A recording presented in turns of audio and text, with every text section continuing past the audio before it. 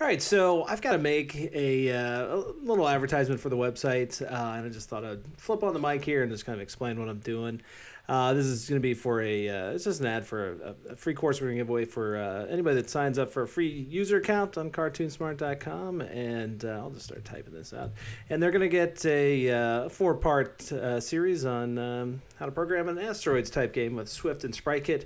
Uh, so let's let's do a little something with uh, some fonts. Uh, You know, we'll use, use this existing image over here. It's just a graphic um, pulled off the internet of the old asteroids uh, game. It's not actually going to be really prevalent in uh, what I end up with here, but. Uh, uh, so what do we got? We got um, just this text box. You can see you can make a text box here in Adobe Animate. Just click that, start typing. I'm using a font called Destructo Beam from Blambot. That's what that BB stands for. Uh, so to go check out uh, blambot.com. Pretty sure that's a, a free fi- a free font that he gives away. Uh, if you want to use that exact same one. And uh, what we're gonna do is we're gonna break this apart. You can see that uh, I've got it on uh its own layer over here. So if you want to make it a little bit more clear, so there's the font. There's the image back there. Uh, and then the stage color is set to be uh, black. So uh, let's grab the text. And what I'm going to do is I'm just going to break this apart. So I'm going to go over here to break apart. Uh, you can see when I do that, it just breaks it down to individual letters. I want to do this one more time. Uh, so I'll spare you guys the hotkeys. I'll hit uh, break apart. There you go. And let's give it um, let's give it a nice little uh, kind of 70s arcade look. So I'm going to start with uh, a, a yellow just for the base color of this. I'm going to then create a couple more layers and I'm just going to copy what I've got here. So select it and I'm going to paste it right back in place again. Uh, you can go over here to paste in place. It's just a little modifier on the usual paste hotkey, just holding down shift.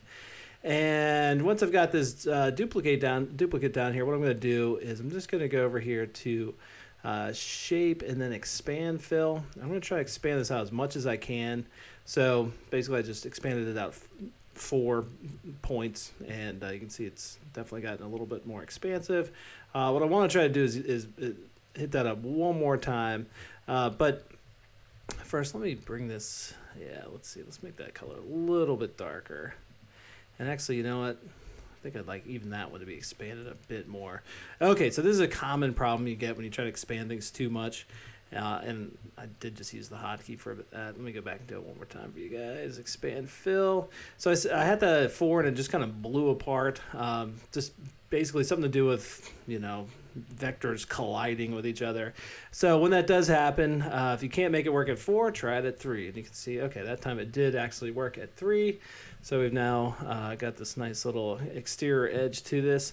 Uh, I'm going to go ahead and copy this one. I'm going to paste this again, put it right down there so you can see it's right behind that one on a layer below.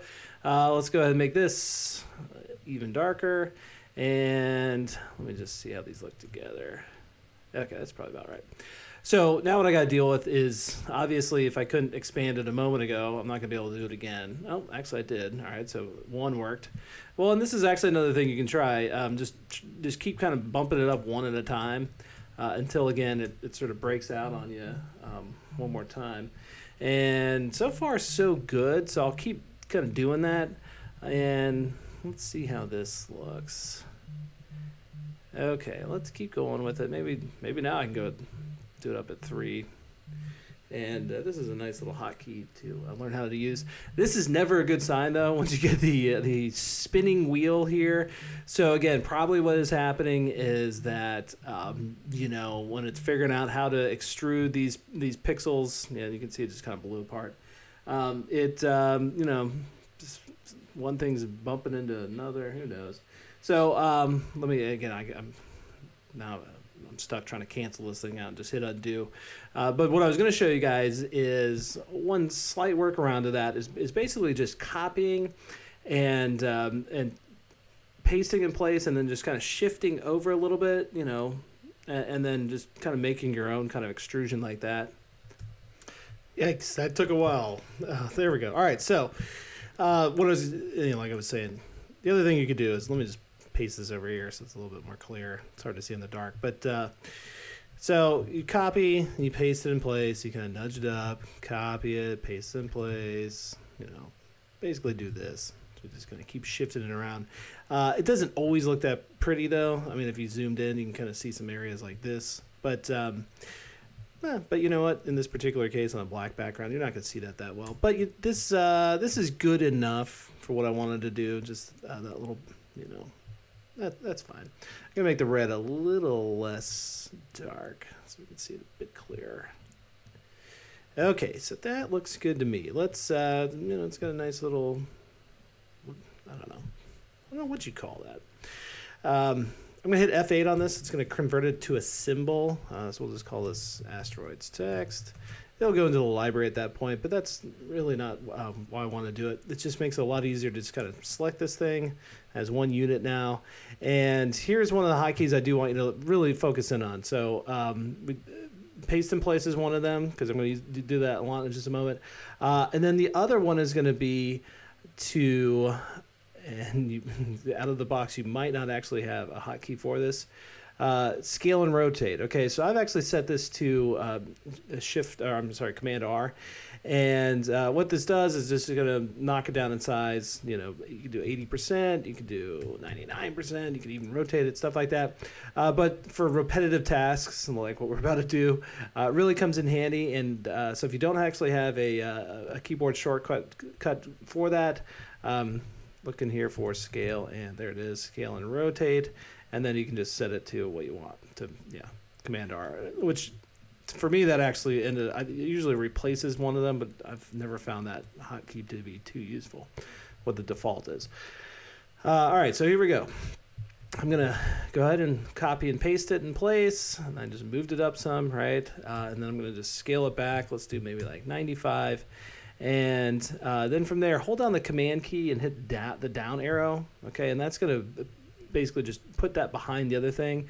If you wanted to look for it in the menu, uh, you're going to drive yourself crazy because it's um, you'd be going, you know, modify, arrange, send it back over and over again.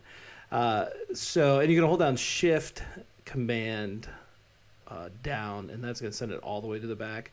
Uh, so once we get the, the first one back there, let's go ahead and tint this. I'm going to make it just a little bit darker, actually about quite a bit darker. Let's let's go like about 60%. Okay, now I'm to do it again. So again, I'm going to push it back. I'm to scale it down some. All right, you see where I'm going with this? Uh, and then I might just bump that up a little bit. All right, and we're just going to keep kind of doing that same thing. All right, that time for some for whatever reason I moved it around myself. Um, there we go. Okay, so send it back. Let's go like 90% this time. Uh, let's take that up some. And eventually what I'm going to do is just kind of swoop it up into the distance. But I, won't I don't think I'm going to know exactly when that perfect time to do it is until I see it. Okay, so maybe now let's do it. So I'm going to move it back, take it down about 90%. Make it a little bit darker. Okay, and then I'm going to start just, just going up with it. Let's see how that looks.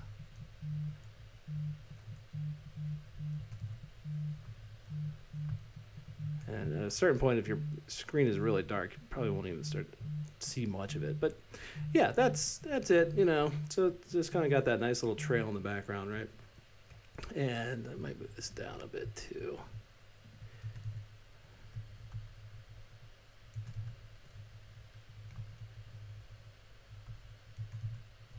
Okay. Got some nice little flair to it, right?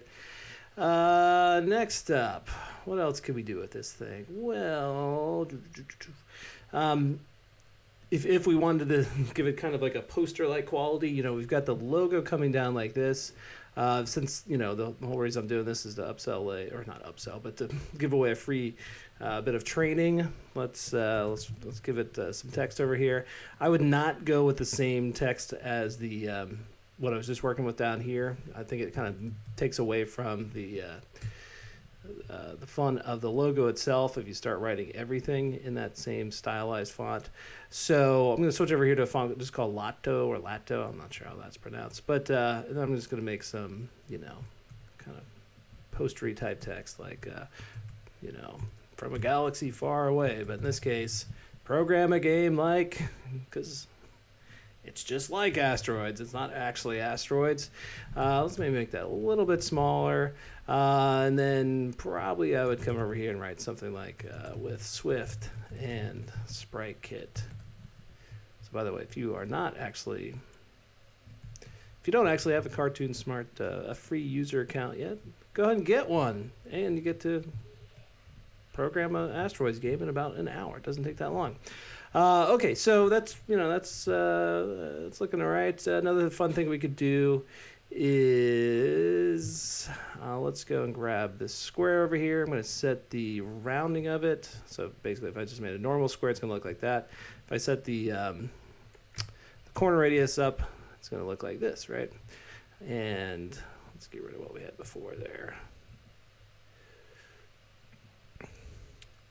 So let's do, maybe take like a orange or, I don't want it to be too bright.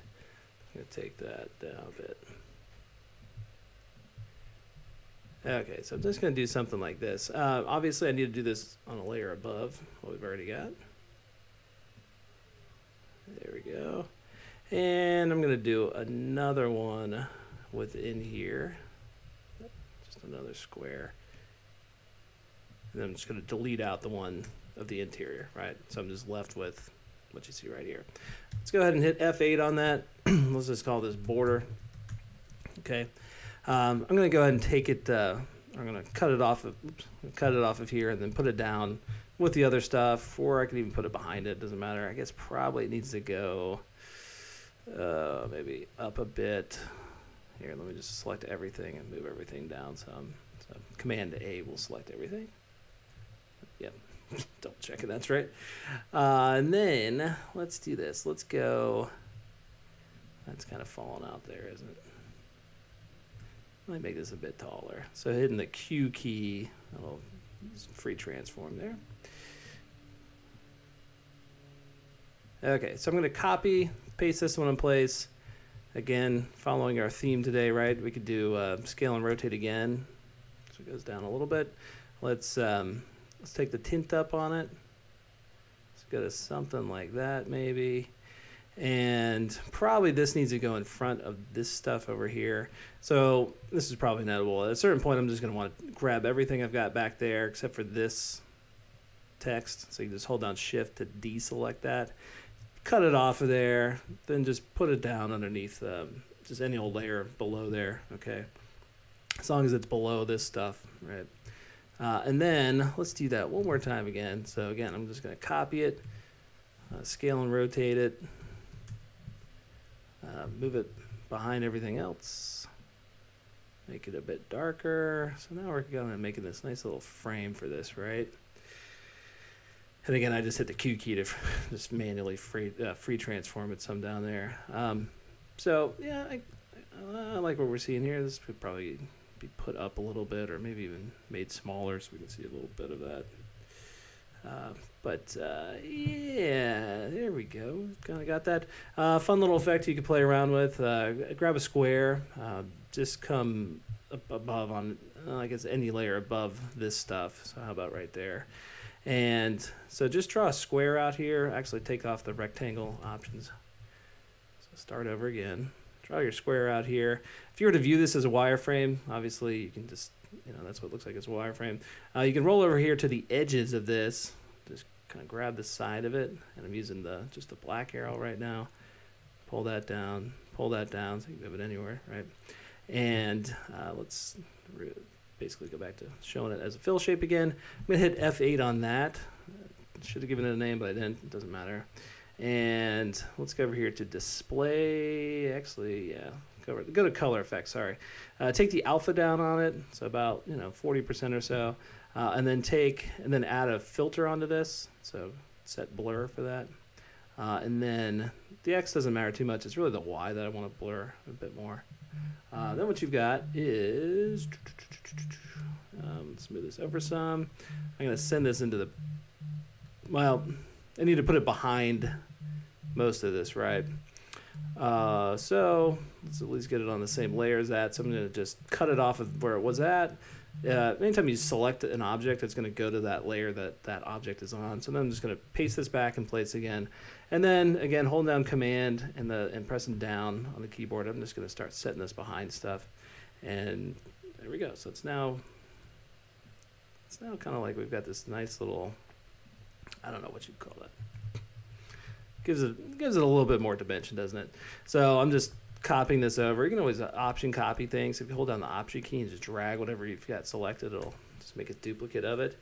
And uh, yeah, that's um, you know, hey, for 15 minutes worth of work, you've got kind of a nice little, almost like an app, uh, app icon, or um, like I said, you know, a little banner for for whatever you're doing. Um, be great for some sort of um, Google AdWords ad or something like that. I guess I'd probably move that down into that space. Uh, but uh, and you know, we got some room down here to put uh, some more some more text in, uh, something like dot dot dot in under an hour because really it's only four courses. They're about 15 minutes long. So there there you go.